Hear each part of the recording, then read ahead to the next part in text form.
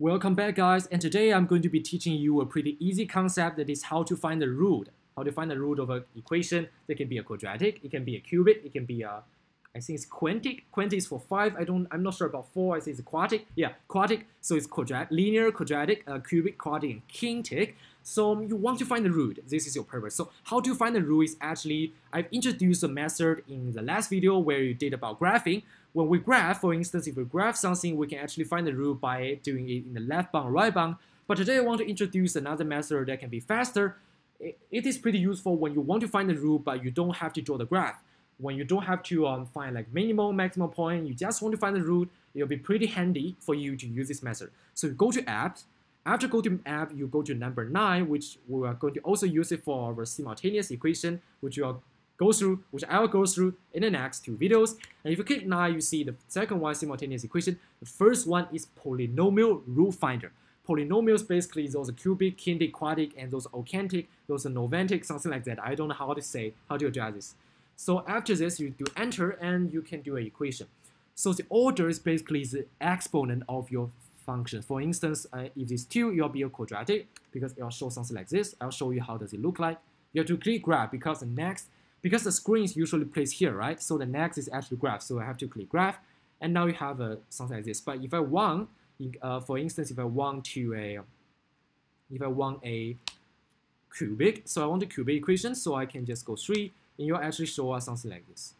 Okay, so I want to find the root. So today I want to work it with a quadratic first, so it's easier for you to understand. I want to do a quadratic, so um, now let's start now. It also works for linear as well. I'll show you in case you want to see how does it look. It's something like this. It's pretty easy to do linear. You usually can do it manually faster than doing exponentially, but some students may not be. For quadratic, I, see, I know for like a cubic, you definitely require calculator to do it fast. For quadratic, some students can do it faster than a calculator. Some students use a minus b um, rule method. Uh, 4ac method, something like a minus b plus minus square root b, b squared minus 4ac divided by 2a. Some students like that method, but usually we um, usually calculator does it faster for us. So now let's do a quadratic as our ex, um, example. So graph, and uh, which is next, we have 2, for instance, 2x squared, and now you can actually change it to plus or minus. You, for instance, if I wanted to do negative 3, I can do this. So you'll be plus negative 3. The computer, the laptop, uh, sorry, the calculator will be happy for this. But the best method, which is a more clear method, you can just do minus, uh, subtract. This subtract is here. Remember, don't confuse yourself. The minus sign is here, subtract sign is here. And now I can just turn this to 3. It will give me the same thing, now plus 5. So this is our example for this, and you give you go solve. Since the screen is here, you see, since the screen usually here, the solve is actually graph.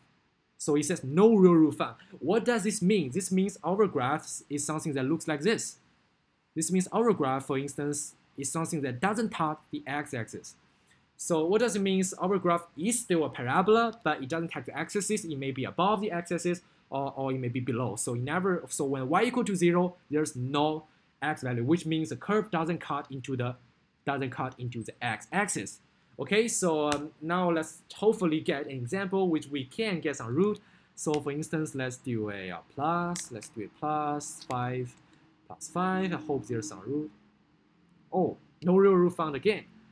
What a pity. So uh, no real root found for that. That's unlucky. So um, let's find, um, let's do again. Let's do something like a cubic, I think. Sorry, I touched cubic. So let's try cubics to see if we have root for this. Oh yeah, so now we have some rules. So for this cubic, we actually have one rule only.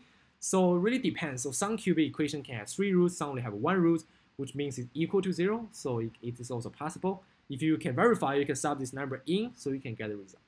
Okay, so this is all I want to talk about. This is just to help you to find the root. You can definitely also find the root going to you. You need to quiz the app with it. Remember? Okay, so you oh you can also find the root. Well, you can draw a graph, for instance, something like this. So just show you guys, uh, in case some people forget about it. So um, we can just draw a graph like this with plus 2x, for instance, plus 5, and let's graph it. Graph it up, and we'll get a graph. And so for instance, this graph has no real root because it doesn't touch here, it doesn't touch the x-axis. So you can never find any rule in this case. So for instance, if I try this function, it, does, it will not work, which is a second trace. Yeah, 0 is the one we can use to find our root. You can still find it, but definitely it's a wrong root because it's kind of a misleading.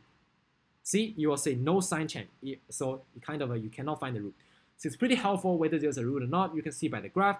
or you can enter an equation under this under this app and number nine here, you will also tell you whether there's a root form or no root form. Okay, so you don't have to care about the other. You just to you just have to enter the number of exponent you have. For example, it can be cubic, quintic, quadratic, something like that. Okay, guys. So this is the end of this video today. And next video, I'm going to teach you how to solve equations, how to solve simultaneous equations using the matrix method. See you.